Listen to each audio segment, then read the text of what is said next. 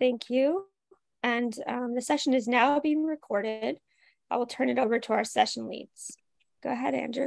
Hey, so thank you so much, Erin. And so obviously I would like to open by thanking the CarpentryCon organizers for accepting our proposal and also um, thanking the people to whom we reached out. Uh, this is a very important topic, I think, for the HPC carpentry uh, community.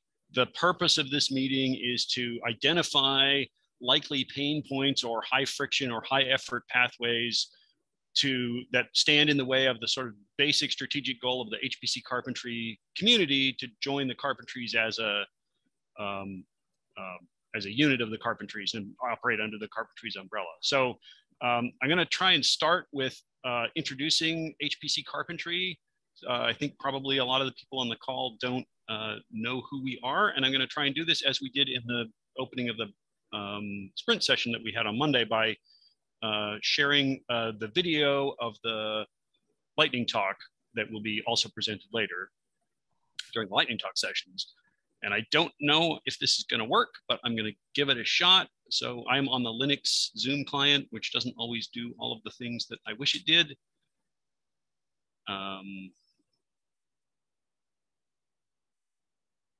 yeah, okay, and I'm not seeing Okay, I can share my entire desktop.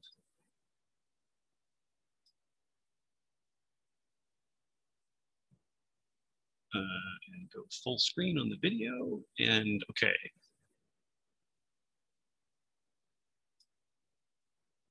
And I forgot to do the sound, so I will try it again. Share sound. There it is.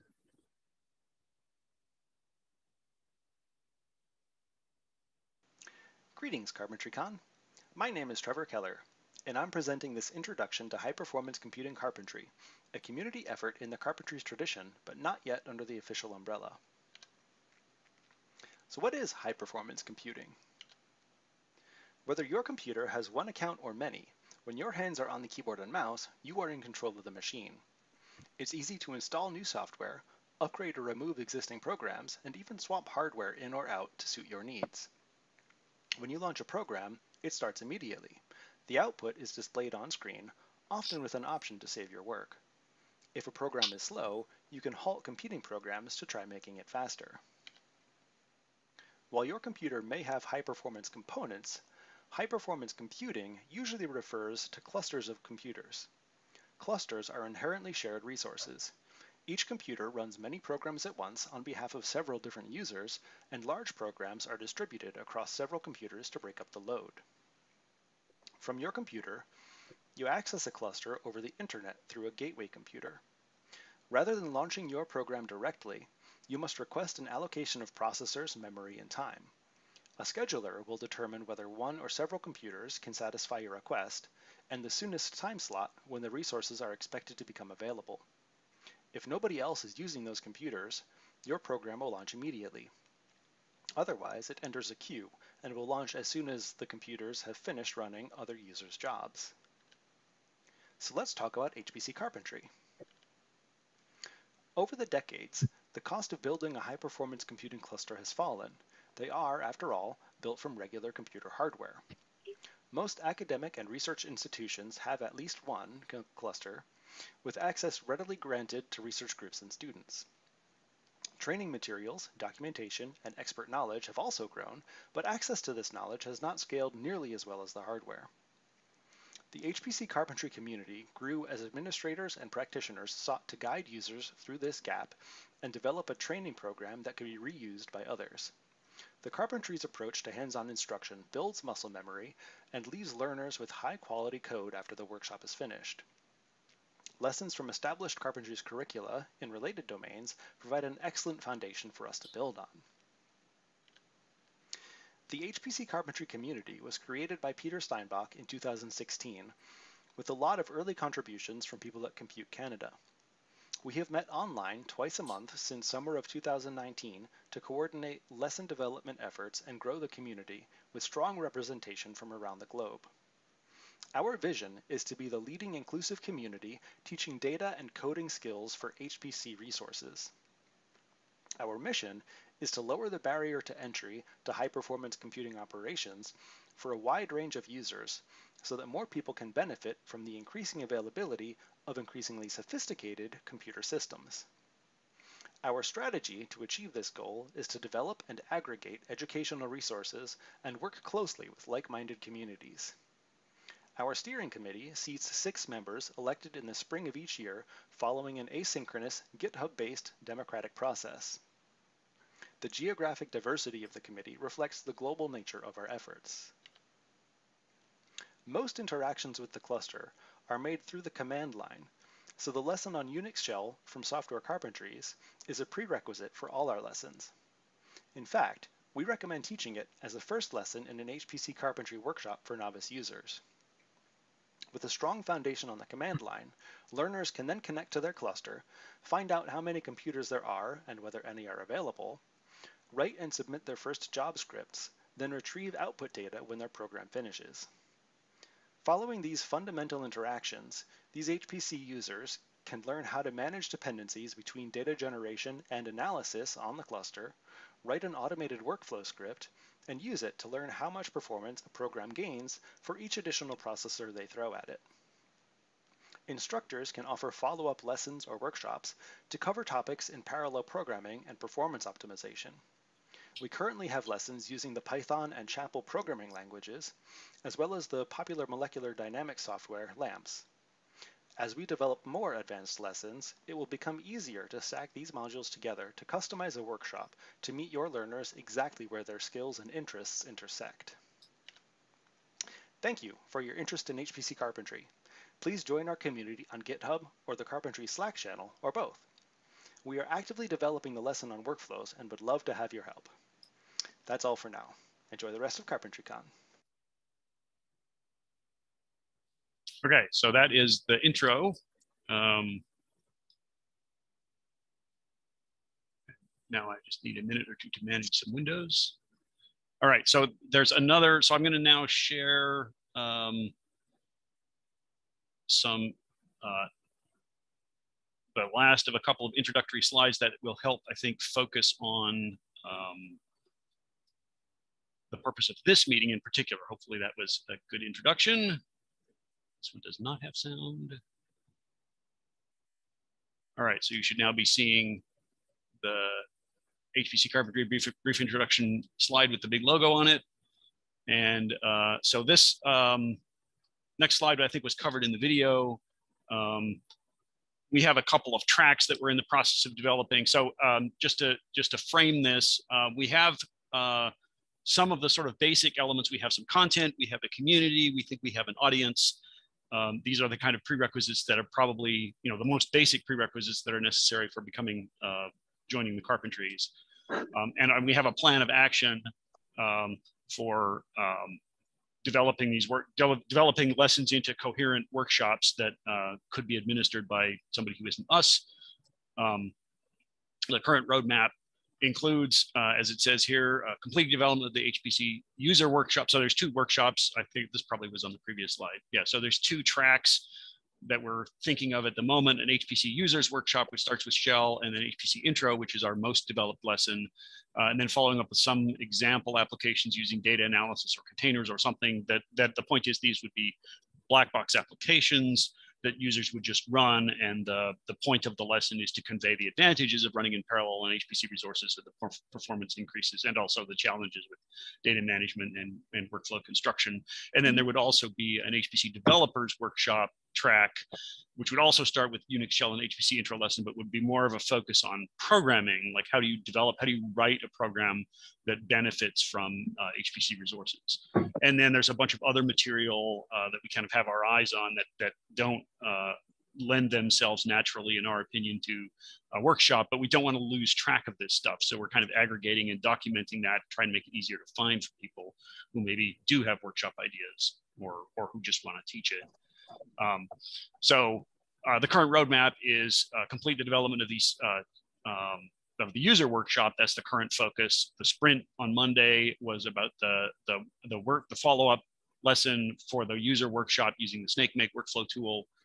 Um, we need to identify an example application uh, to build a coding lesson, uh, coding track around uh, capture the diverse additional materials, including we have some resources that we have our eye on on GPU programming. The video mentioned the Chapel uh, language lesson, and uh, some uh, there's a singularity container lesson that is not well adapted to HPC that we think we can possibly build on. Um, and outreach, of course, is a big part of uh, what we want to do to build the community. Um, so um, using um, so we're we're in the Carpentries incubator. We talk to Carpentries people fairly often. Uh, we're we've uh, did a BOF at Supercomputing 21. that We got some pretty good engagement. Um, we're doing a bunch of stuff here at CarpentryCon, um, and there are also a number of other sort of ACM. Uh, the Association for Computing Machinery uh, is a is an organization that that they're the people who run supercomputing, the SC conference, uh, and they have a number of other conferences which uh, which have educational tracks. Uh, so the PEARC and SC23 and others are some of those that we're aware of. And so we're thinking we will, we will, those, those are good places for outreach. Um, so these are the materials that are um, currently available. Um, so I think the repo for the main site is uh, actually, I'm not sure if the repo is in the um, Cody or in the chat.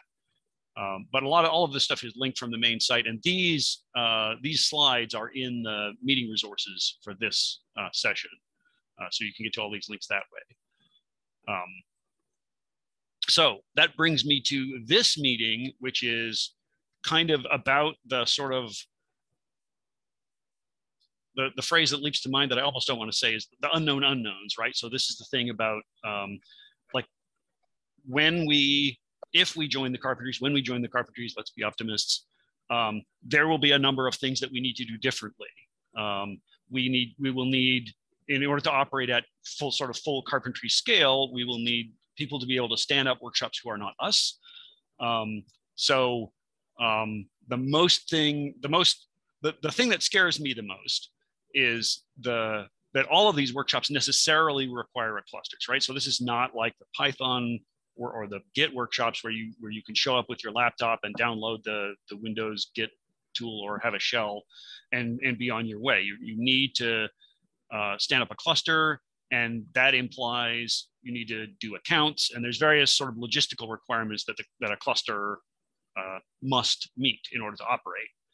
Um, how easy does that need to be? How what uh, capabilities can the carpentries organization bring to bear on that problem and what uh, capabilities do we need to uh, bring to bear uh, one thing I will say is that we have, uh, I think making it turnkey is probably possible. We have some pretty good tools and in all modesty, the HPC carpentries community's technical excellence seems to me to be extremely high.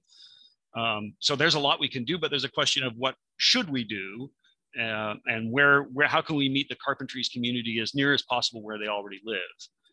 Um, there's also a money issue. So for cloud resources, if we're going to stand up uh, transient clusters on the cloud, which is a, a good answer, um, who pays? Um, is there, will the carpentries organization have some kind of contract or some kind of access to funding? Is this something that we, the carpentry, HPC carpentry community need to make available? Uh, can we charge a fee? Um, who are donors we should maybe reach out to. And then there's for transient clusters, there's another question that arises from them about um, how long should this cluster live, right? So the, the video mentioned that, that learners will come away with high quality code. That's true, it, uh, but if the transient cluster on which they did the ran the code disappears after, you know, immediately after the lesson, um, it may compromise the ability of them to leverage that code in other contexts. Um, so those are kinds of the questions that are on my mind. Um, so with that introduction, I would like to, I'll stop sharing and, and open the floor to other comments, blind spots, things I missed, things that scare other people.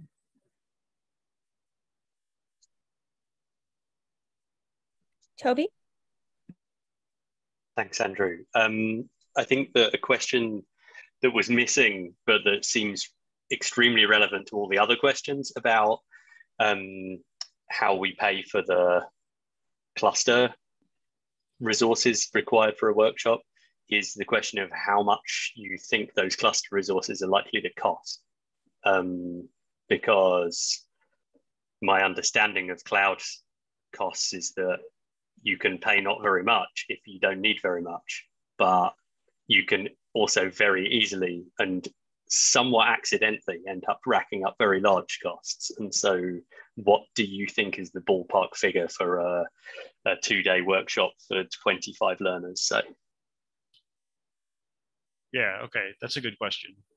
I'm, my my ballpark guess off the top of my head is that that's probably um, tens to maybe a hundred dollars, um, but I don't I don't have a solid number on that. That's just a order of magnitude.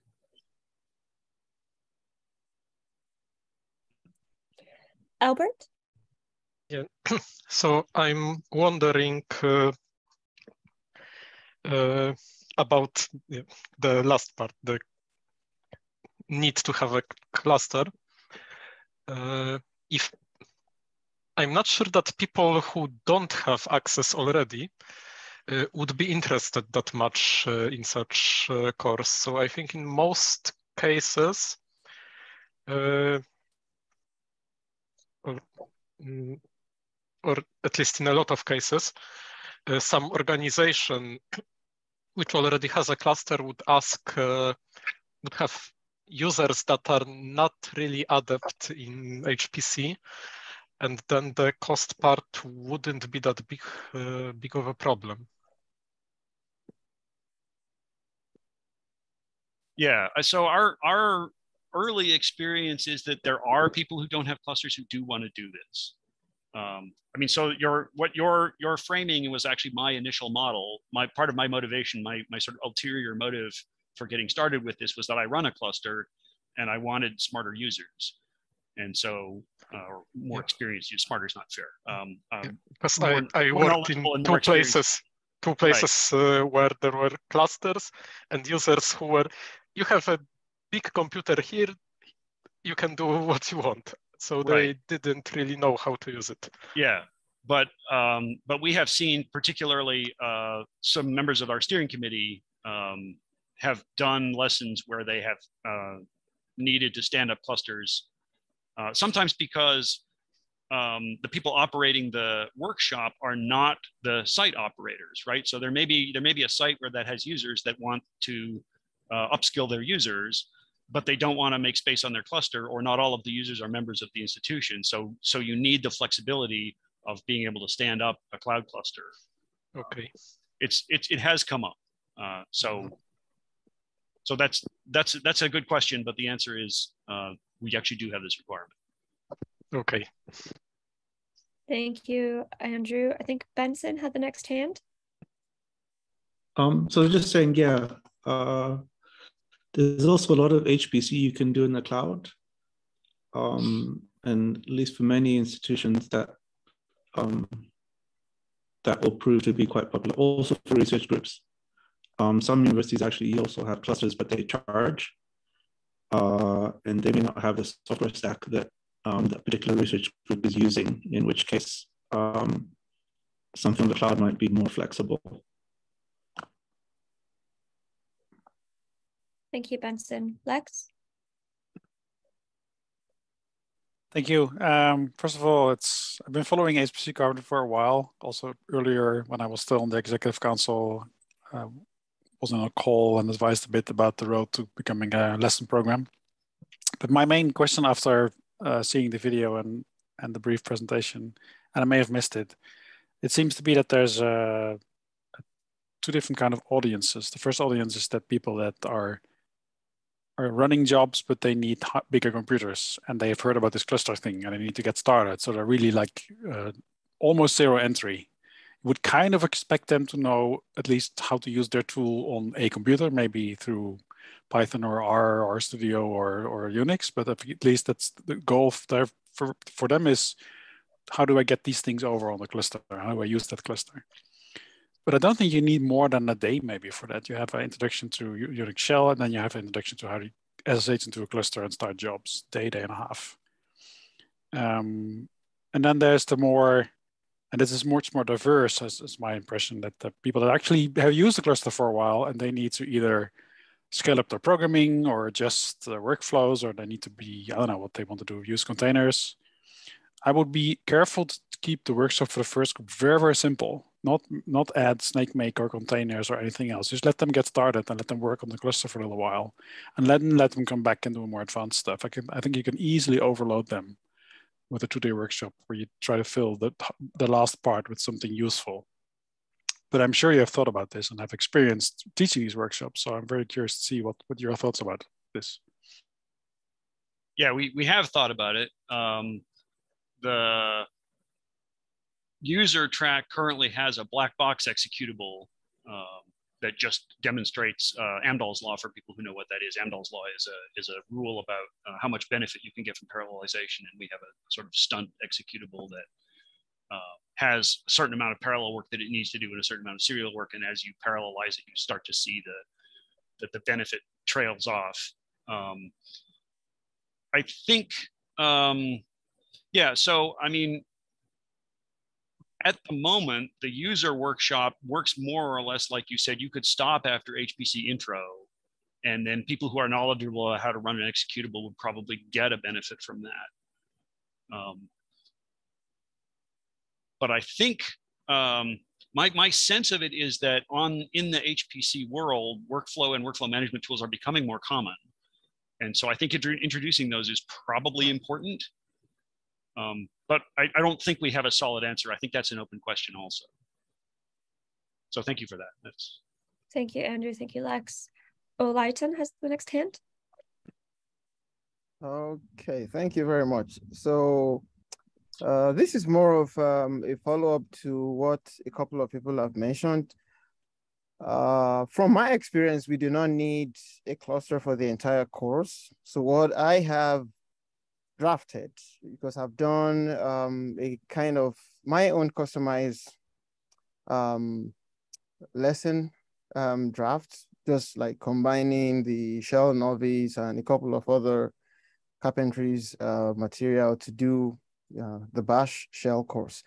So what I have is just one module that says um, HPC working on a remote HPC system working on a remote HPC system, yeah, that's the module. And that's pretty much the part where they do things like SSH and stuff like that, which is the part that requires the actual uh, do stuff on, you know, a cluster and things like that. And that would reduce the costs in terms of finding funding for access to a cluster if it's just, you know, maybe an hour or so of access that is required.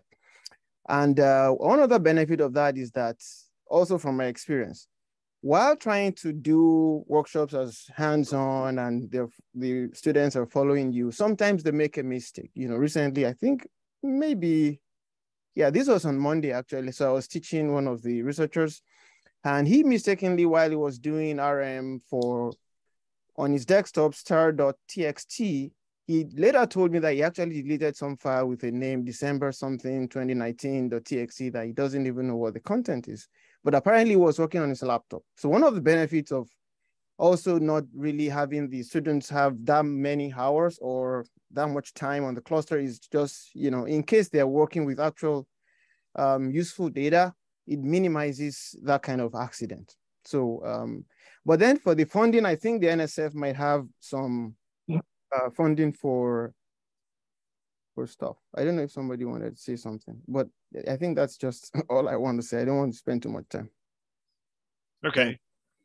So I, I wasn't super clear on your so um it sounded like you you opened with saying maybe we don't need a cluster, but then you you described a scenario where somebody does SSH into a remote system. Okay, on his laptop, it was working and he deleted star.txt as part of the things we were trying out while working through the bash shell course. So the, oh, I see. What I do is I start with the laptop, regardless of the uh how, the nature of the students or what they do. I usually just start with laptop work for most of the modules, and I try to minimize the access to cluster to just the module that says working on a remote HPC system. I have a module on my course which is just that, and that's where they do SSH. And that's why I was saying that that model minimizes the cluster access time to just that module, basically, for the most part. Most of the other things like shell scripting and the likes, they just do it on their computers, their laptops. Yeah. Okay. That, that's a, that's an interesting approach. We, we don't do that. We do. I mean, we we sort of separate out like so. Our the current user track scheme is the first lesson is is in fact straight up uh, HPC or Unix shell intro from the carpentries. We, we don't develop. In, fact, we made a decision, I guess, about a year ago. There used to be an HPC shell lesson, and what we found was that we were duplicating a lot of the content from uh, Unix intro, and the Unix intro one is much better maintained. They have a larger pool of maintainers. It's a way better lesson. So we ditched ours and we put a module at the beginning of HPC intro that basically fills in the gaps for like you know being able to SSH and stuff. Um, so we're we're sort of half doing what you said, right? So the first lesson is is the the stock, so to speak, Unix shell intro, but the second lesson is very engaged on the cluster, right? You spend half a day, the full lesson. I mean, the, the module one is SSH to the cluster, right? And then module two is sinfo and all the other uh, cluster operation commands. So uh, yeah, so it's in it's, it's we hadn't I think we had not thought of the strategy of minimizing time on the cluster. I think we were closer to maximizing it. Um, but that's interesting. I hadn't thought of that. Um, also, I mean, so data protection is uh, also a thing. Um, so on the cluster that I operate, we have some protection against accidental deletion. So if somebody makes a mistake on the cluster, um, possibly it could be recovered from, but they would need to work with the admins. Um, certainly, having as safe an environment as possible is a good idea. But on the other hand, that, that's sort of some tension between making the environment safe and also making the environment, you know, the same as what you would have in a in a sort of real right um, or unprotected uh, production HPC environment. Uh, I'm not sure how to balance that tension, but uh, but it is it definitely exists. Thanks. Um, I also had, I guess, the, the we we've thought about NSF funding too. There's there is this, I guess, now uh, the XSEDE program in the United States is going away, but it's being replaced by something else. Um, those are U.S. specific resources. Uh, they're certainly useful for people in the United States who are doing workshops, and we will look into those. But we're, I think, we would like a more general solution that's that's wider, has casts a wider net. Thank you so much. Great questions. Um, Rohit has a hand and then we'll take some hands from the chat. Yeah. So I was just wondering about like a couple of things about this. Like, so one of the one of the lessons planned is like LAMMPS on an HPC system, which brings us to a whole different realm of problems and and potential solutions, right? Which is like how do you compile software, or how do you you know make the best use of the research software which you actually intend to use on the cluster itself. And of course, you know, this is not necessarily easy because it requires more of an in-depth understanding of which queues you have, you know, what resources are behind the queues and what you actually can submit to which one. And that becomes increasingly complicated if you don't, um, so if, if we just want to do Slurm submission scripts or Slurm basic commands, right? It's great if you're submitting to like the general CPU queues, or if someone tells you, hey, this workflow needs to be run on this magic GPU queue but beyond that then people need to understand like a lot more. And the question is at what stage do we need to explain that and how much can they rely on like the sysadmins? So some i know some lessons in this sphere like in hpc spheres are like the enccs ones let me leave a link in the chat. They're geared purely towards separate applications. So they're like if you use julia then how do you use that on this compute architecture? And that's perhaps it's an advanced topic, but also it's more of a application oriented thing. So it might be more easy for people to connect to. Yeah, so I we sort of we have thought a little bit about that. Um, so the the the the the HPC developer track is the least mature of the two tracks that we're we're contemplating. Um, but I think the idea there is it would include building something uh, probably something simple to begin with. Um, we do do a little bit of like how to use the resource effectively in the HPC intro lesson. At the end, there's a there's a bit about um, one of the things is a lot of uh, cluster systems uh, have time limits and um, making a good estimate of how much time your job is going to take is an important part of being a being a responsible citizen on a shared environment. Uh, if you just ask for the for the moon, um, then the time it will take for your job to dispatch will be longer, and the queuing system will not be able to efficiently schedule jobs around it. And so that's a that's a citizenship uh, uh, uh feature or, or uh, issue and it cuts both ways, right? So being a poor, I mean, I think on a lot of queuing systems, being a poor citizen will put you at a disadvantage, making your job harder to schedule. So we kind of have touched on some of those issues, and we could, I think at this point, we could probably claim that we set the stage for some of the things you discussed, but we don't really engage with them at this point. Thank you so much, Andrew and Rohit. We had a question in the chat from John Chodacki. I'll read it out. One thing that I like about the Carpentries model is that learners can and will become instructors. They get excited by the pedagogy and the content and are confident enough to become an instructor. Do you think that this is likely in HPC carpentry? Do you think there will be this type of overlap between the instructor and learner communities? Um, that is a good question. I don't think I, I know the answer. Uh, like I said, I got into it because of a certain level of frustration with users uh, not being as aware as I wanted them to be or as knowledgeable as I wanted them to be about cluster ops. Um, it looks think, like Sher, Sher may have an answer for us. Okay. yeah, so um, on our end from the, the core team or the administration side, um, we do expect and hope that you know as we train instructors regardless of you know their background that it's if they're coming in as an instructor you know as a hpc um, participant or uh, with that background. It is our hope that once they become trained they then will become hpc instructors. Um, and it's really um, it's really organic in that sense. And so it starts off our the way we like to think of it is you know participants learners they go through a carpentry's workshop whether it be software carpentry library carpentry hpc once they become that learner they then elevate to become oh this is kind of cool let me try to be a helper and now from that helper it's oh, okay, I think I really could do this. Let me go ahead and be an instructor. And then from there, they get put into that centrally organized workshop pool where they will become an instructor for centrally organized workshops. Um, as well as self organized workshops. And I wanted to touch um, on the question about the fees momentarily. And so, for centrally organized workshops, we, the carpentries, we would um, cover that cost. And when we say cover that cost, we will ensure that the cost of whatever it takes to um, put on that workshop is included in the centrally organized workshop fee. So therefore, however many cloud instances or um, that are needed for HPC workshop, we will make sure that that's taken care of. However, on the self-organized uh, workshop side, that is where we would want to make sure that the HPC community has a solid foundation or recommendations for the community if someone is looking to put on a self-organized workshop. These are the things that you want to consider. Um, right now for centrally for self-organized workshops, the carpentries we do um, very um, there's a limited amount of things that we do to support them. And generally, it's putting their information, putting their workshop on the website and making sure that they get their um, survey links. But aside from that, it is up to the um, instructors and the workshop hosts putting on that self organized workshop to have all of the resources in place for what they need for that workshop. Okay, thank you.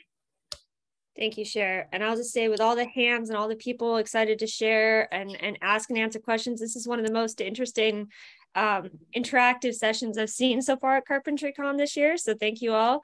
Um, Trevor has the next hand. We're winning already. it's not about um, winning. Sorry. Um, it's about me winning. No way. So, us, us, Andrew. Oh, yeah. Uh, this is how our meetings usually go. Anyway, so on so for um on the topic of um, learners, the learner to helper to instructor pipeline, I think that so certainly personally, that's also my goal and how I'm looking at um, as we develop our curriculum and lesson program and refine our lesson materials. I'm trying to make sure that we, even if we're not there yet, that we have uh, some um, pathway to make teaching the materials as um, background independent as possible. Something that, um, so every HPC cluster is configured differently. So what we've done in the lesson materials is to use Jekyll's templating facilities um, to insert custom content in various places automatically in the lessons when they're built. Um, and the way that we do that is we have some variables in the top level config.yaml and then a snippet library that um, content gets pulled in from when you build the site using particular flags, which means that deploying a website for a particular cluster, uh, so you can't just link to the, okay, in your lesson workshop, normally you set the agenda and for each lesson you link generally to like the software carpentry's Unix shell lesson. For us, people can and do link to the HPC carpentry HPC intro lesson, but you can, and if you have a specific cluster in mind, should build your own site and deploy that with your site customizations in place which is what we've been doing as cluster experts is building the snippet libraries deploying our own versions of the lesson with that snippet library called out in place so that reading through it you get your the name of your machine that you're going to log into in the lesson instead of some generic value and then um, cluster specific output um, to make it feel as familiar as possible. Going forward, if we're preparing, helping people with centrally organized workshops, there will probably be have to be some handholding and support from us, the core HPC carpentry team, to help people develop snippet libraries or make sure that a customized um, lesson site is in place for their cluster or cluster type so that they can teach to that and not have to configure it themselves. It'll just be there for them. Thank you so much, Trevor. Uh, Kari has the next hand. Hi, this has been so great to learn more about HPC carpentry. So thank you for the presentation. One of the, uh, my question is going back to the instructor pool and build, building an instructor pool to teach the workshops. One thing that has come up a lot in the Carpentry Con sessions that I've attended is um, some of the community members or instructors um, reluctant to teach lessons outside of what they're used to teaching. So I've heard a lot that, you know, I want to teach a software carpentry R workshop, but I've never done it before. I, I tend to stick to, you know, data carpentry or library carpentry. So I was wondering what if if anyone on the call, not not just Andrew, um, if you all have suggestions or ideas for encouraging instructors to teach other lessons than they're used to teaching. And Danielle says she hears that a lot. Danielle's our workshop administrator.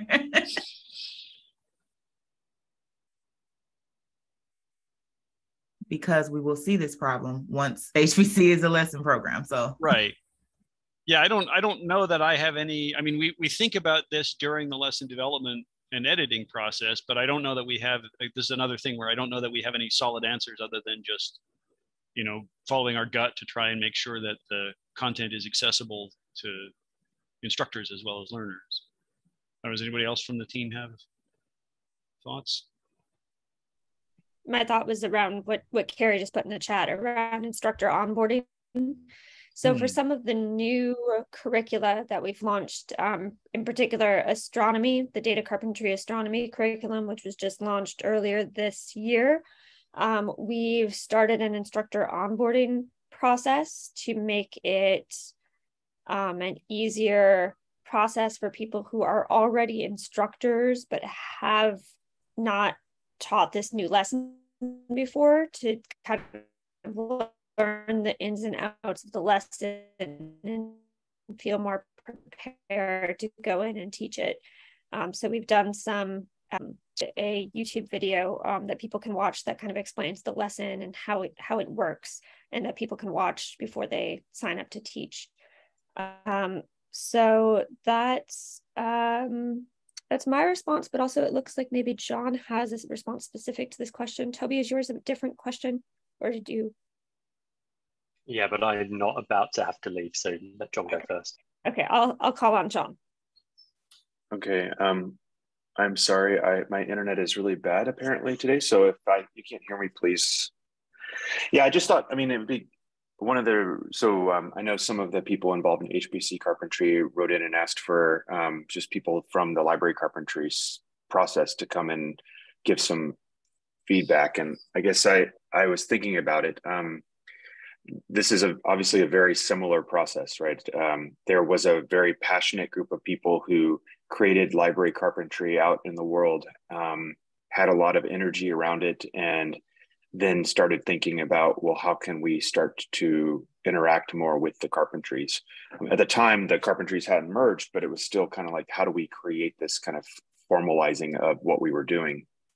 And I think uh, a few observations I think you've already hit on it uh, are that the carpentries itself is not a big organization. It's not a like we we kind of think of it as like, oh wow, if we can just get this lesson organization set up, then like it'll be part of the mothership and it'll be self-sustaining and it'll be this big infrastructure. And I'd say one big thing that to always keep in mind is you know adding this as a lesson organization is not going to necessarily give structurally like tons of more resources. I'm not saying that to criticize anybody at all, but more that um, one of the big learning things that we went through was really trying to figure out how to basically uh, add resources to the carpentries um, as at the same time of bringing the library the, this, the library carpentry community and as a lesson organization. So we did a lot of fundraising um, I personally got involved in library carpentry really because people from the library community across the University of California came to me and said, You're kind of good at fundraising. Can you help us? Because we want to fundraise. Um, I'm not saying that I have uh, some, you know, great examples of what funders to go to, but um, or that it even has to be dollars, uh, you know, money. It could be um, people, but it really is one of these things where um, the carpentries itself, itself will need to actually use more resources for the short term to get you in as a lesson organization and has to retool and re- rethink the way that they pre- present all of their operations and this is not to detract you from doing it but just to showcase that this does this is a labor intensive uh, process for a very strapped organization. And so it's really thinking of it as not just how to get the, the lesson organization into the carpentries, but how to make sure that they can maintain and thrive during that process, setting them up for success, setting, setting you guys up for success. Um, one model that we started with when we did this was that uh, the University of California went out and received a grant uh, to pay for one person to come in as a coordinator for the library carpentry transition. That person came in and was was like, okay, well, this is going to be great. We're going to have one person who's going to help coordinate everything. Um, I would say that that was not a good uh, process. It did not set the library carpentry community up for success or the carpentries because it was one person. Um, the carpentries is obviously a huge fabric of people. It's volunteers and professionals working on this topic. And when a new lesson organization comes in, it's it's really a change for everybody. And when it gets centralized around one person, it actually can cause a lot of issues. So I would just say, as you're looking for fundraising or you're looking for models, I would I would avoid the the temptation of saying like if we can just get one FTE, we would it would all be better. If if at if at all that's what you've been thinking.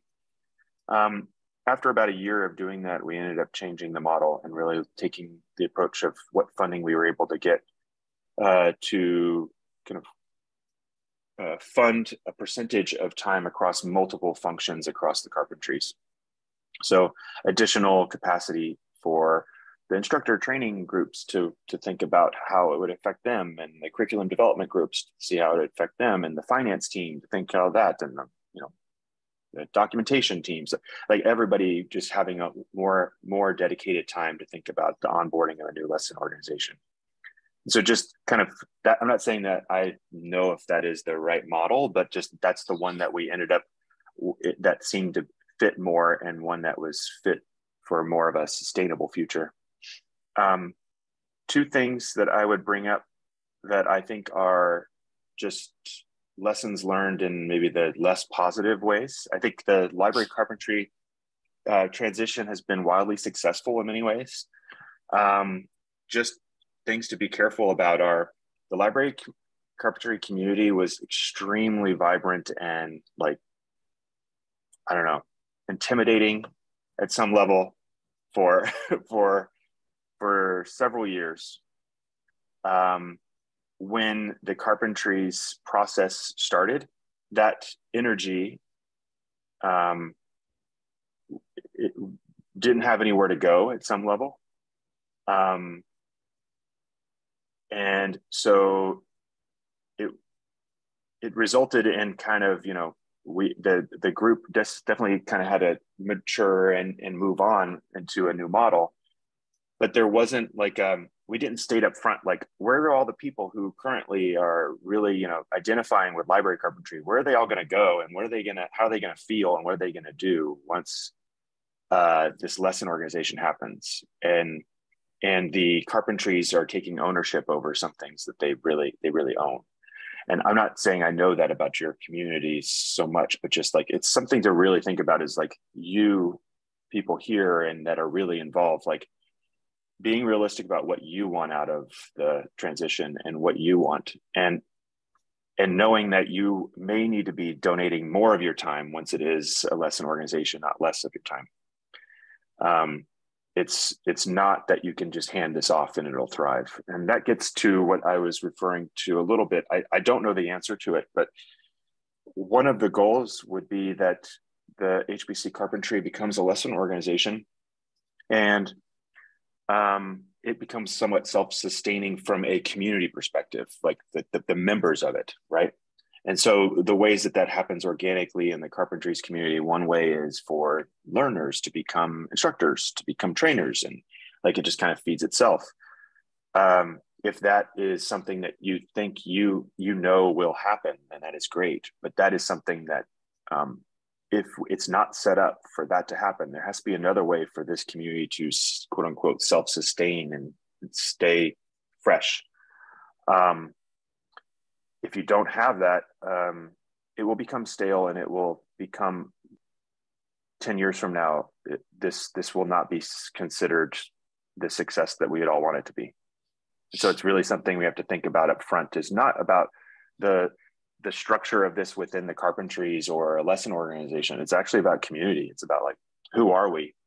Are we, you know, IT professionals teaching IT professionals, or are we IT professionals teaching researchers? Do we think researchers would help with with um, with the process? I mean, I, I think there's just a. It's not that it's insurmountable at all. I don't I don't want to make it sound that way, but it's really it needs to be somewhat deliberate um, and just very candid with yourselves about what what who you are and what you're trying to do. Um, because I guess my big thing here is like the, the carpentry's small organization doing mighty and really big work but it's really about that there's people out there in the wild that are like growing the the sessions and the the learning and the modules and putting in all the time and we got to think about like 10 years from now how is hpc carpentry going to flourish in that way um, so i guess i don't have anything else but i was that's that's outstanding that's helpful that is that's outstanding. Thank you so much for that. That is that's exactly the kind of thing that I was looking for when I when I asked the library people or any uh, people who have experience with onboarding or with joining up. I think the yeah. the so I, we've had some conversations with uh, in our in our organizational or coordination meetings about um, in particular the you know it's our responsibility to bring a certain amount of momentum to the table right? Like we can't expect the carpentries to you know give us an audience with that we will we will then dazzle and it'll be awesome right? Like we need to be awesome first. And and uh, and if we can bring an audience i think so something i'm i'm hearing here that i haven't thought about a lot before is this um, learner helper instructor pipeline. It sounds like the that was key for you guys that we we need to understand that we need to build that pipeline for ourselves. We can't we, we shouldn't expect that the carpentries organization is, is going to hand us a pipeline that does that already. They may yeah. have it for other organizations, but they're other organ even if they do, that may not may or may not help us. Yeah, or I mean, just being very deliberate about okay, what do you think it is, and then making sure that you're sharing that with the carpentry staff and that everybody's in sync yeah. and understands and, and says it's the same. I mean, it's you don't want it to be where you think it's one pipeline and they think it's another, or right, or they're like, uh, that's not how it really works. I mean, we we really right. just sit down. Yep. Yeah, this is that's excellent. Thank you so much for that. Mm-hmm. This is a really excellent conversation, and thank you, John, so much for sharing that experience. I do know that we have uh, three people with hands up, and want to make sure that we uh, we get to some of those questions as well. Toby, yeah, what one one role finishing thing is um, you were kind of hedging and saying, you know, if we become um, learning, I mean, I would change that and just say when. I mean, I think right. everybody wants this to happen at some level. Okay. So it's it's all about problem solving. You know, it's um it's about putting all the problems on a piece of paper and just going through them and saying what what is it that we have to do to to get past them um, but it's this is we're all in the same community i mean you wouldn't have like even attached yourself to the pedagogy and the branding and the community if you didn't want to be part of it. And the same you know vice versa. So it's like we're all in this. So it's just more of road mapping it out. So. All right. Thank you so much john. Thank you. Uh, toby we'll take your hand now. Okay. Um, to take us, I mean, everything that John said was fantastic to hear, and thank you for sharing that. Um, I, talking about this learner helper instructor pipeline and about the idea of an instructor onboarding for HPC carpentry lessons, I perhaps this was implied anyway in what was already discussed, but I want to make clear that in my view, every new technical skill and and every new skill full stop and every new concept that you're requiring instructors to pick up in that onboarding i.e that is not already taught to them in instructor training um, reduces the flow through that pipeline. Um, you know this is we i don't expect that we will ever have as many instructors in the pool to teach data carpentry astronomy, for example, as we will do to teach, um, I don't know, um, software carpentry or, or, or, whatever, like, because it's a, it's a lesson that's aimed at a really specific domain and it's also got prerequisites in terms of mm.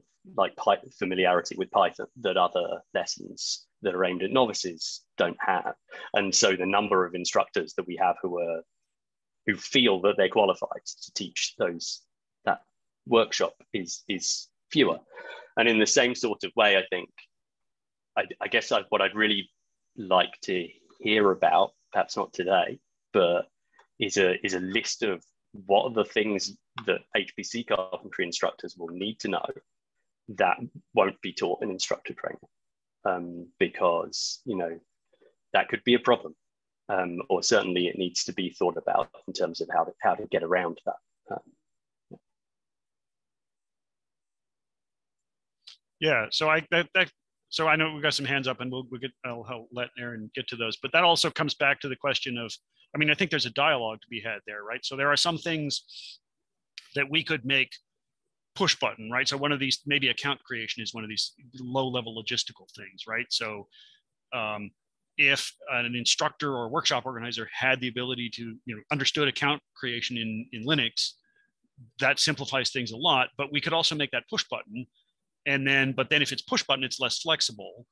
Um, so is it is the right answer a less flexible solution that enlarges the instructor pool or is the right answer a more flexible solution for fewer instructors? And i don't know the answer to that but that's another trade-off that we need to think about. Yeah excellent. Thank you so much.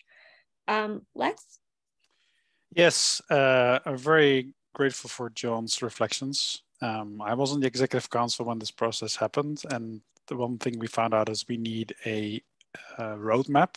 So there is a formal roadmap documented in the um, in the handbook, and I'll come back to that for a second.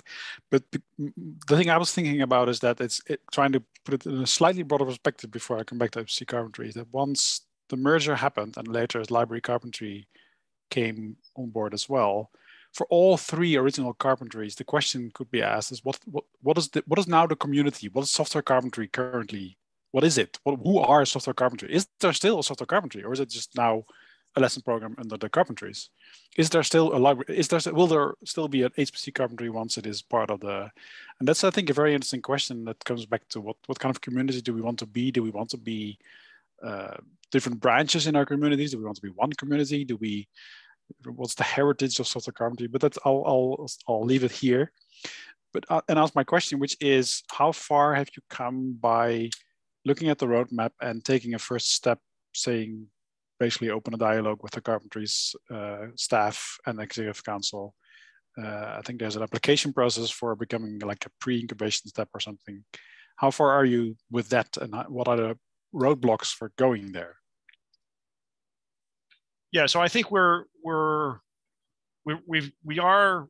Some of us have read some of the curriculum development handbook, um, and I think one the focus that we're on at now is we feel like before we can sort of even think about formally starting the process, we need to have something like a workshop uh, or maybe a couple of workshops. So that's that's where our, our sort of that's where we are on the roadmap now. Um, I think probably once we're happy with the workshop structure, we would revisit. Uh, probably would ping Toby and say, "So, how does this look? Should we? You know, is this is this enough?" And Toby would say, as he often does, there's no formal requirement. It's a question of the very comfort level of the various people. And, and so then we would figure out where we are, you know, how comfortable we are. Um, but yeah, I think I think we're that's what we're doing now. I'm not hearing anything here that tells me that that's the wrong thing to do. There might be more things to do that we haven't thought of. That's okay. Um, yeah, so I think that's as far as as near as I have an answer. That's it. Uh, Can I have a um, quick reply? Sure. Yeah. I would I would sit down with the executive council or with the staff executive team and and set up your okay this is what this is what we think we need to do.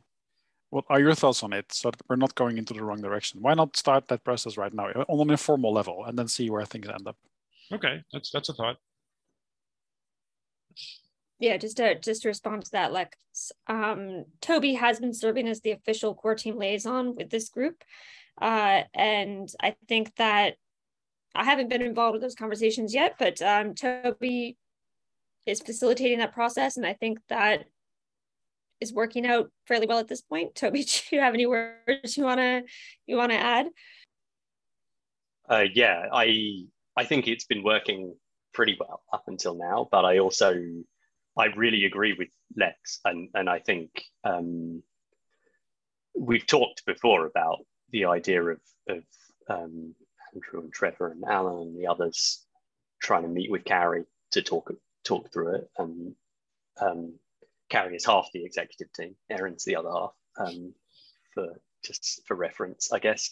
Um, and I I don't think it's too early to have that conversation. I think the um, HPC intro, which is roughly half of the two day curriculum, is in really decent shape and has been tested way more than the requirements that, that are listed in that roadmap document suggest. Um, and I also think that the group has a fairly clear idea of where they want to go with the other part of the curriculum. But I also think that before, like the HPC intro stuff is like, you have to teach that if it's going to be a workshop on HPC, this, this stuff needs to be covered. What comes after that has been a, the subject of a lot of discussion. And I think that that is another reason why it might be a good time to start talking more um, with the with the leadership of the core team. At least you've had some perspective of from at least past members of the of the executive council today. Um, yeah, okay, I think that's all I want to say on that. Thank you, Toby. And Alan, you've been so so patient. Um, thank you so much. I'll take your hand. I, I, feel like I'm taking two steps backwards with this comment, but uh, uh, on, it kind of goes back to this idea of the, the instructor pipeline a little bit.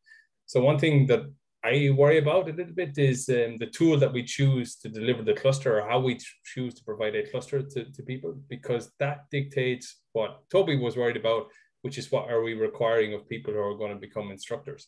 And because if we are requiring them to be sysadmins of that system that they have asset, access to, well, that's quite a large requirement, right? Um, so, and that's a big concern of mine. So, I mean, there are things out there. That's why I worry a lot about the tool that we use, right? Because there are quite clever tools out there, I would say. And the one that I've been promoting all the time is one of those, right? That that tries to take away all that sysadmin type activity from you, where it's a lot of point and click stuff, which is at least we can document that fairly, fairly straightforwardly. And you're not going to make typos and cause huge problems, right, in the cluster. Um, and so, yeah, that's that's one thing. I would like to make sure that whatever tool we choose in the end to provide the cluster, that these are the kind of things that we worry about a little bit, that, that it doesn't bring an, enormous load on the person who's delivering the lesson in the end, that it should be a minimal possible.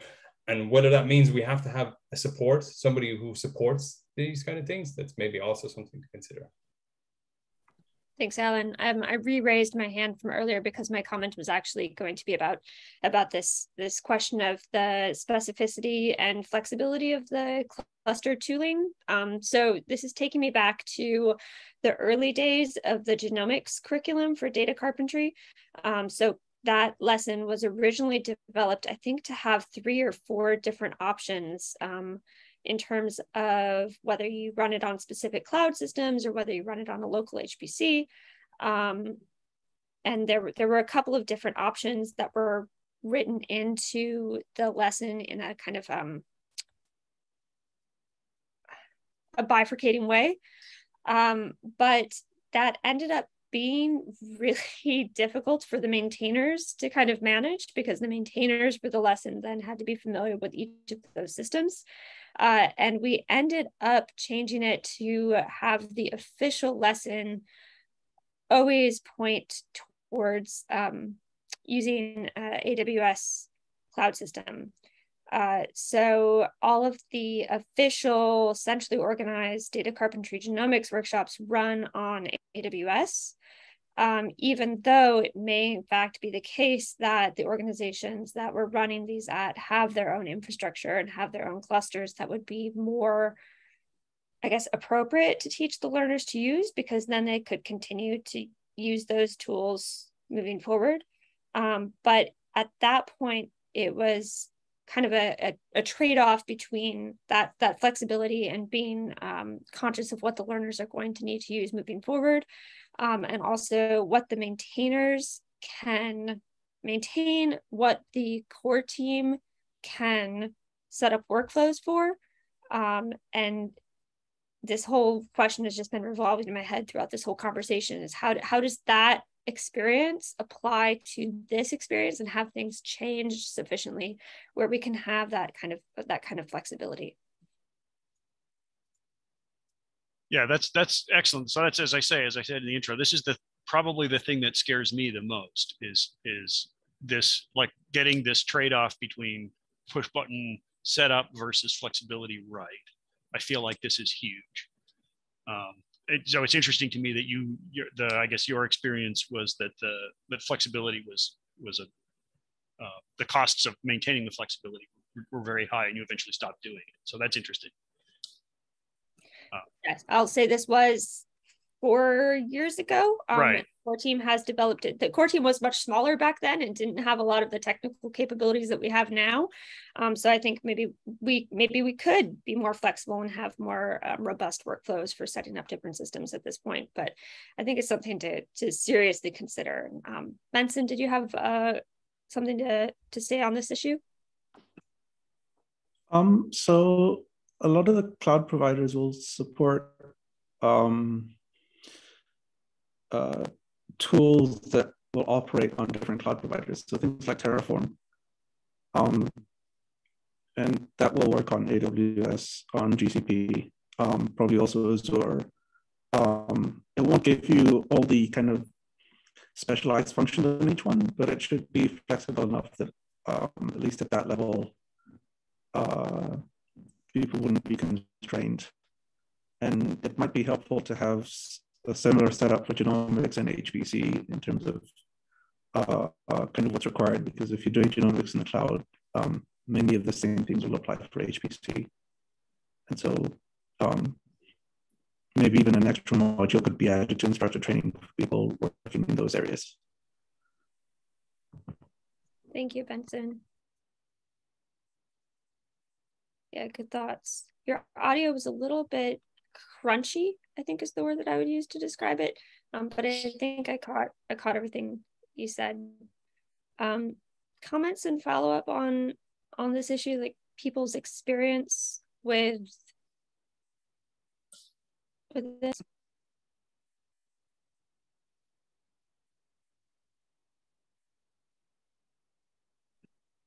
Did we finally run out of questions? I mean, that was it. That was. I'll give people time to think for a little bit, um, and see. Toby has a has a hand here, but I just want to like emphasize this is the most action packed um, session that I've been at so far for CarpentryCon. So, uh, congratulations on introducing a, a meaty topic. Okay, so I'll go with Toby, to- Toby, and then Alan. Um, I mean, I've got a, a list of long of, of big questions, I suppose. Um, uh, Alan, did you have something related to what's already been discussed that you wanted to say that you've realised that you well, wanted you, to say now? If you if you have a long list, I'll be quick. Um, just to mention on the funding side, I have been in discussions for other projects with AWS and Azure. Azure in particular seem to be quite keen um, to offer support for, for training resources. So they've donated to a proposal that I've done recently. And I think, I mean, I have the context now that I think these kind of things are possible and interesting for them um, because they have this hardware and they want to show it off, right? So even if we use the expensive hardware, which is GPUs and interconnects and everything, I think if you talk to the right people, there will be support um, for that kind of effort. That's all. That's all I'd say. Thank you, Alan. Um, list of long questions from Toby. Oh. Okay. I mean, the first thing that I'm wary of relying on the charity of cloud providers because if we were to use that as a reason to adopt the expensive, fancy stuff that you just described, and then they cut us off, cut off our supply, then we would have to figure out how to deal with that. Um, which is not to say that we shouldn't approach or, or look into working with credits, but um, that we need to this focus on sustainability that John like emphasized a lot in in what he his experience from library carpentry was. Um, you know, we have to keep that in mind in every aspect of this conversation. And then Erin's raised a hand. So back yes, to you. I just wanted to, to interrupt you quickly to talk about a, a specific experience that we've had with, uh, you know, relying on the generosity of, of cloud providers. Um, in the early days of the genomics lessons, we did have a pretty generous pile of credits from AWS. Um, they were very forthcoming about funding funding those workshops and providing credits for them. Um, and then they pulled back. Uh, and so then it was it was a it was a matter of how do we figure out the most efficient way now of of using these resources that we had been using kind of prolif- prolifically pro- profitably? What's the word there? Um but in any case i just wanted to second what toby said about being being cautious with relying on funding and resources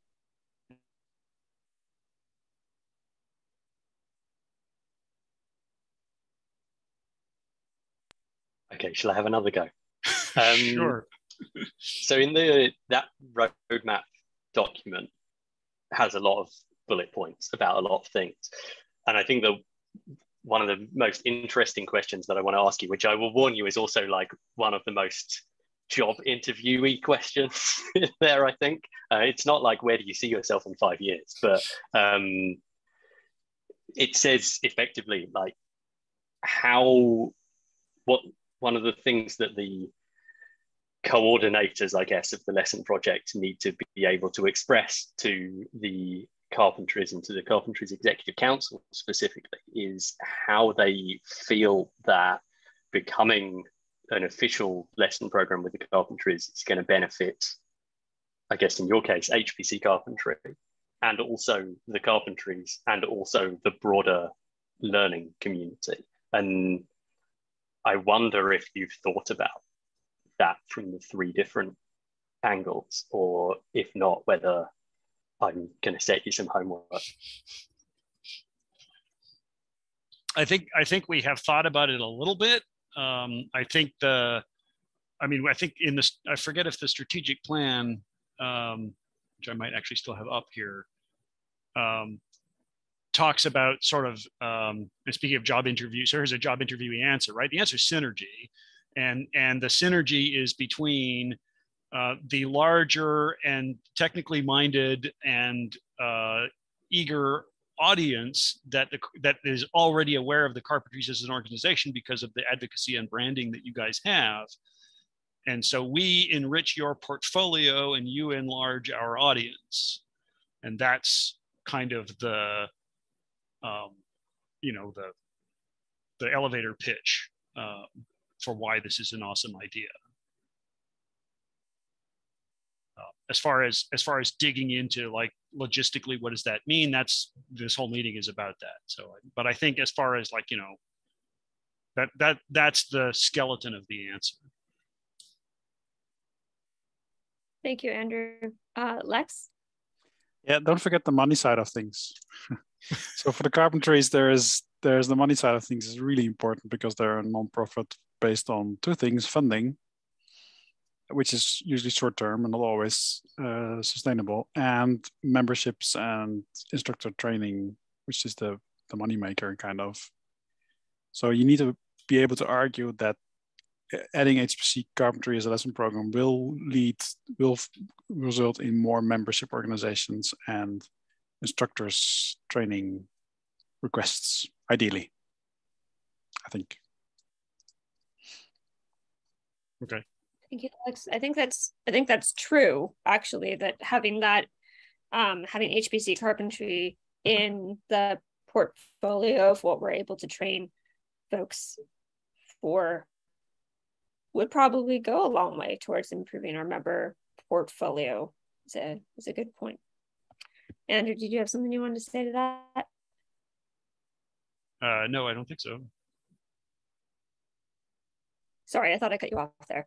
It's okay. well, it's just so the, the thing that I noticed is it's kind of the opposite, right? So I said I said that you would enlarge our audience, and now Lex is saying, well, we need to enlarge the carpentry's audience.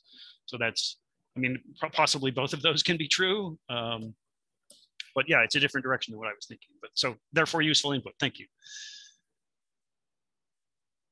Yeah, mutually synergistic. I think that there's definitely a number of the carpentries does have a pretty broad audience in terms of like the number of people that we reach and the number of people who know about us um, and so in that sense i think um, that's true that we could enhance the audience of hpc carpentry but there's also the a lot of our members especially members who've been around with us for a long time have kind of reached the point where they have trained people to do the things that we currently offer trainings on um, and might be very excited about having an additional set of carpentry's lessons that they could use to upskill their people. So I think it's it's interesting to think about that next step.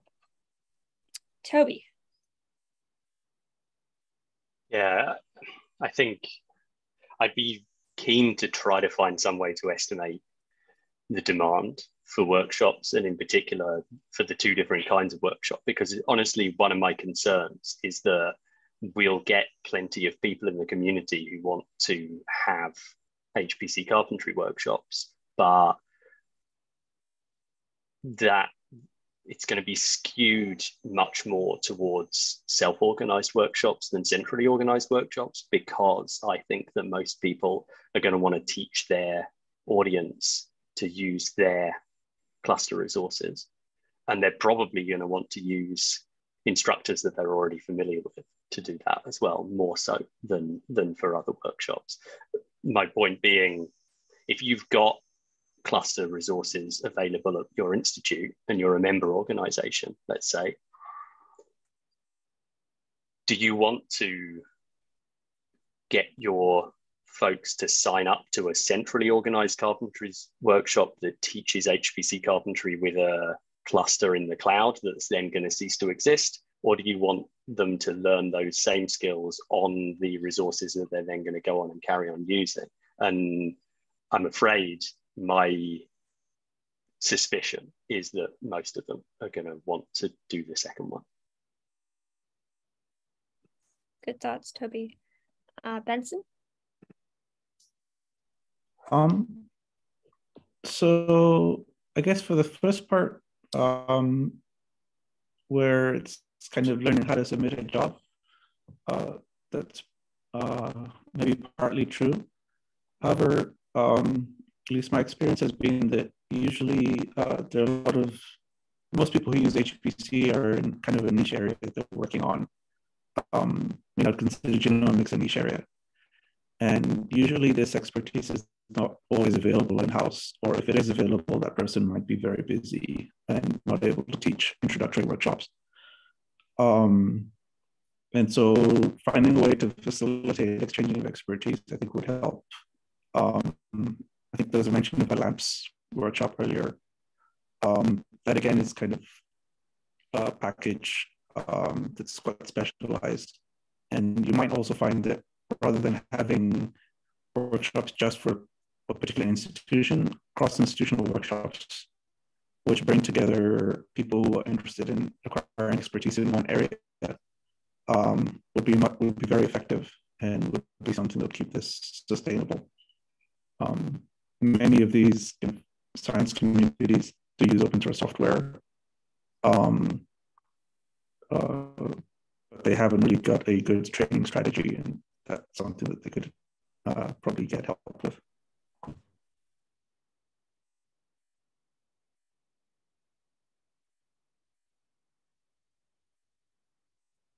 Cool. Thank you, Benson. Ellen? Um, so I have maybe a counter example a little bit. Uh, so, so I know that XSEDE in the US provided training resources, right? Some kind of resources for people to give training courses on. Um, I know Europe a lot better, right? So I know exactly how PRACE and stuff operate.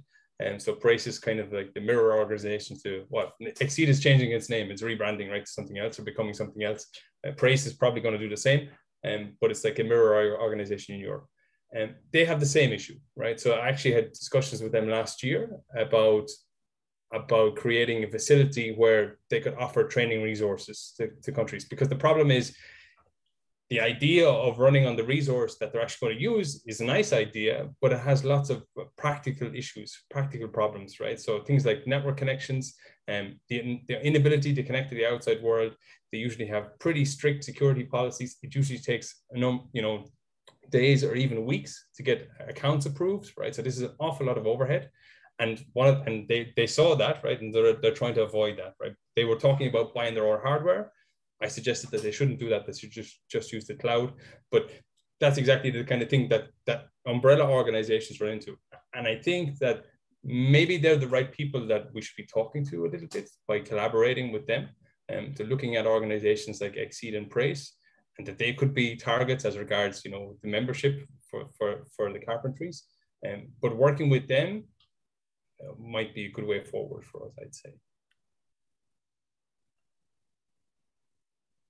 Uh, for another reason as well. Also because they are likely the ones that would provide instructor training, right? So I already have put into a proposal I put into recently that we would have an instructor training for anyone who's giving training in that project that's a model that I could see it being quite useful across a number of projects that I'm aware of. Um, but they probably didn't budget for something like that in the proposals that have gone in. But if you lay, if you kind of promote that idea in general, it's not relatively expensive given the size of these kinds of projects, right? But they could have a lot of knock-on benefit. And yeah, I think it's it's an interesting thing to consider. I think the important thing is to kind of lay the egg to, to, to maybe to start with PRACE, have a discussion with them, do something with them to start with. But it's not that easy. They're a big organization and they have their own problems, right? They have all their deliverables and everything. They don't really want to talk, so you kind of need to know the right people, right? Unfortunately. Yeah, so I guess aggregators are good people. You know, HPC resource aggregators or uh, gateways are are good people to be talking to. Uh, maybe Compute Canada. We, we, do we know the right people at Compute Canada? I mean, we have some history with them, right? They might be I know them pretty well because of this tool, Magic Castle. They're the developers Right. of that tool. So I, I've actually been talking to, yeah, the, the kind of higher up people in, in Compute Canada recently as well. And they actually are interested because of the interest in Magic Castle. They are interested in talking more about that in the next month, actually. Okay. If, if this was a tool that might be used, they would be interested in supporting that. But that's those discussions are very, very early days, right?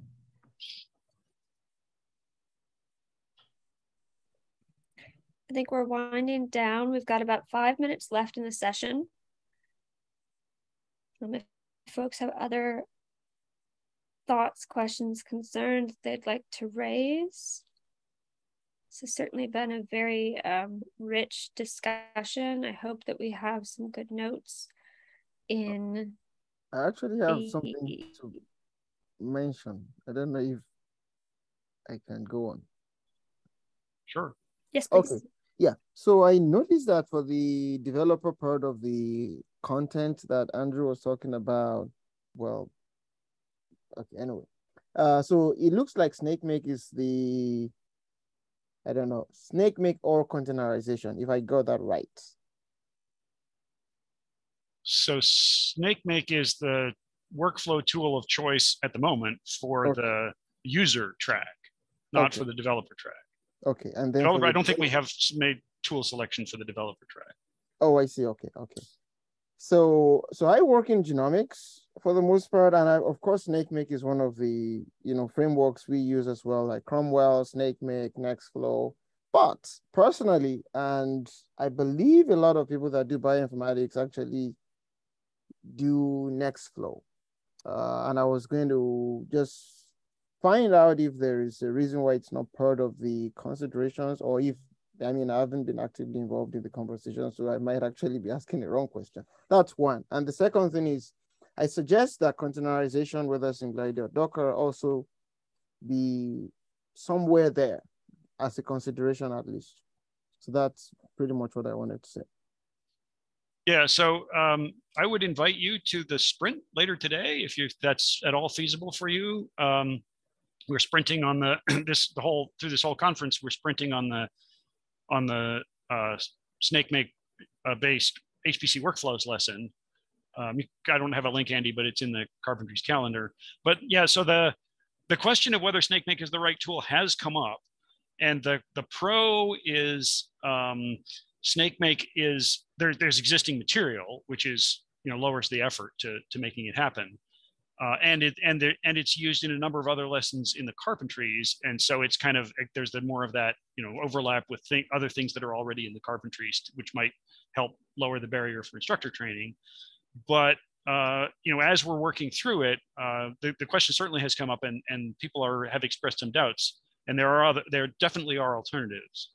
Um, so I yeah, I want to advocate for Nextflow. Okay. I am actually so yesterday I started to tier Nextflow modules. I'm working on the customized content now. So, So I'm trying to I tier can- Nextflow. Okay. So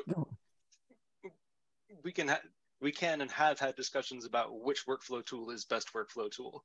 The idea here is that so somebody else has already developed content from so they derived a lesson from HPC carpentry and tailored it to Snakemake. And we see a fairly direct path forward to converting that lesson back into an HPC carpentry lesson that fits well and builds on previous materials. And Snakemake builds on Python and existing HPC stuff, and we can see pathway forward relatively easily. And we would be introducing a workflow management tool, and then toward the end of the lesson, we can express or explain or clarify to students that you have a lot of options in the workflow manager uh, space, and you should use what you've learned about this workflow tool and go out and find one that fits your application best. So we're not gonna, we're not planning to litigate which tool we're gonna teach in the workflow lesson. Certainly not here. and certainly not in the next two minutes. Um, So it is it is the very end of the session. Um, I wanted to turn it back to the the session leads in case you have any final final words you'd like to share with the group. So I just want to thank everybody for their participation. This has been this has been more successful than I was expecting. I was I was anticipating a lot of dead air and me reiterating questions, but this has been great. I think we've got a lot of good feedback. There's issues that that are whose salience I have maybe not appreciated and some issues I hadn't thought of at all. Uh, so thank you so much, everyone, for the input. And I guess I have an administrative question for Aaron. Is it possible? I, I know we did this in the um, sprint to capture the chat. Is that something you can do I or I can do? Do not know. Um, I think I think Andrew can do it. I, as far as I can tell, everybody on the call has the ability okay. to save the chat. Um, okay, so I, how how do we do that? Um, so the the little more button um, next to where you type the message. So it's three uh, dots on my in my there's a save chat option. Ah, the only thing chat. I'll, I'll warn you about is that um, probably when you save your chat, it will include your private messages to other people on the call. So before you post that chat to Slack, just make sure that you've removed anything that you don't want to be there. But please don't remove any of the messages that were to everyone, because I think at that point it counts as doctoring the record. But um, removing the private messages is fine. Thank you, Toby, for that note. All right. Um, with that, I will say this is a wonderful session. Thank you so much for for organizing.